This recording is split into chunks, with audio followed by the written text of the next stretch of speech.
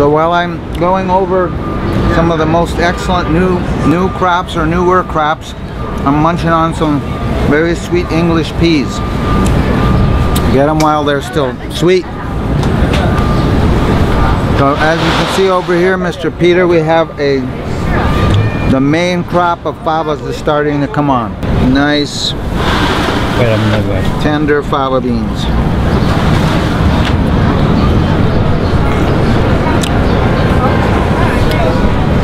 And the main crop of beans is starting to come on. The Italian Roma style yellow and green beans. What's the difference? The yellow ones are a tad sweeter and a less beany in terms of their flavor. So they're really nice raw too. Uh, these are right now going into a salad. Um, whole bunch of beautiful green stuff. Romano beans, English peas, fava beans, mint for slaying. A lot of energy. First crop of regular, well these are actually yellow, these either long, yellow pole beans. The purple are the beaniest of the beans. They have the most bean flavor. The Romanos, the green ones, are, are very nutty and they're one of my favorites, but my most favorite is the green pole bean called a Fortex. You see how long they are.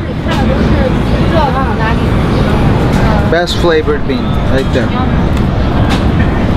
Beans are amazing. I've been shopping here for years. Always the best stuff at the market. I have a few more of the green Jimmy Nardello's. Sweet, lovely peppers. Jimmy Nardello. Lots and lots of broccoli now.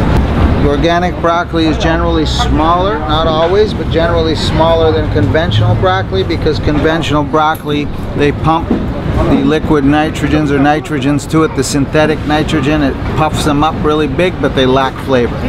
They just don't have the flavor of the organic. Well, I like the herb because it help. Uh, I'm a vegan, so using the natural herb it help keep my body in the alkaline stage and so forth.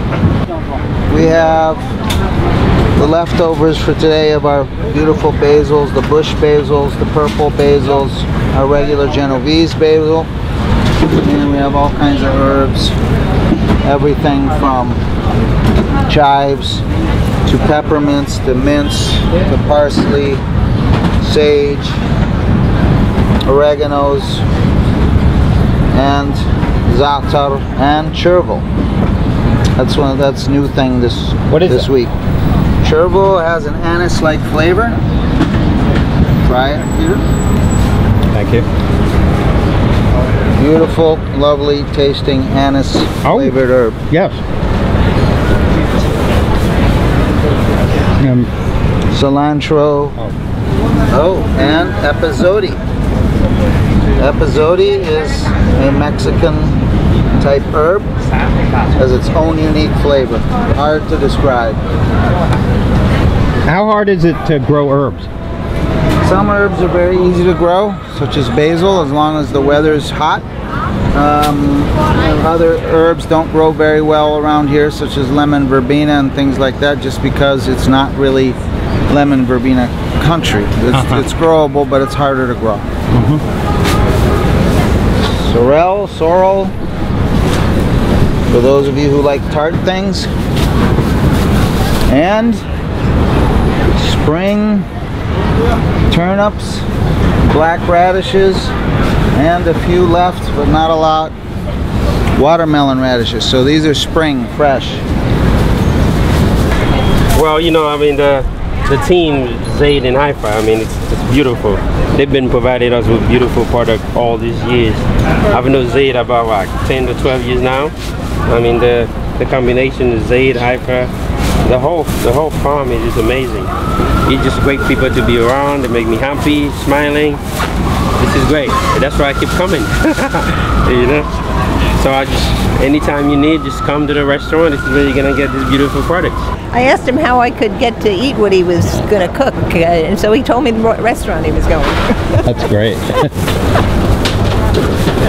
Well, you could be cooking the same stuff they're cooking. Yeah, exactly. Well, I do.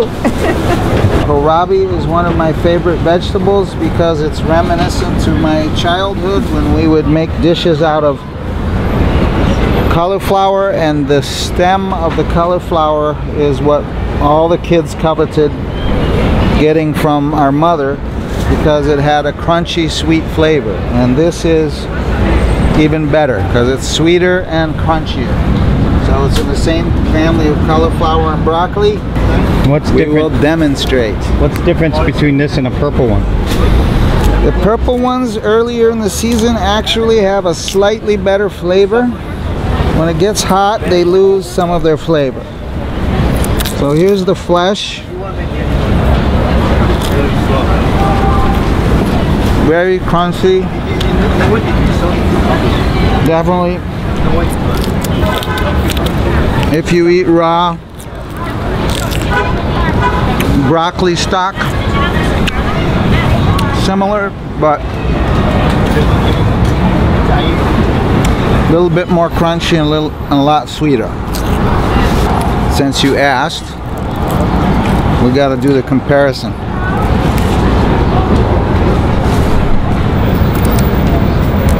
Of course I'm doing a hack job. I'm not cutting it. All you got to do is just take the outside peel off. There you go Peter. You get to you get to start so which did you like the green or the purple I wish I the green. you like the green better Yeah. a little bit sweeter but this is crunchier for sure Yeah. Here we have the famous and infamous Japanese turnip, the hakurei. I'm not sure I'm pronouncing that right, but it is in the class of salad turnips. So it's very sweet, Uh, pick it up the thing. Very thin skinned, and makes for one of the best pickles Really? ever. And especially if you want to get fancy, you take a little slice of beet and you throw it in there, the red beet, and you color them red. Oh. So one of my favorites, Hakurei turnips. Another favorite that has not gained quite as much as attention as it should is Tokyo Bekana. It's actually in the mustard family, but very, very light and buttery. One of my favorite greens. Parisian carrots. Extremely tasty. One of the tastiest carrots out there. But they don't store very well, so we only have them in the growing season. And as you can see here, Peter, we have all of our different kinds of carrots, from yellows to red to rainbow, purples,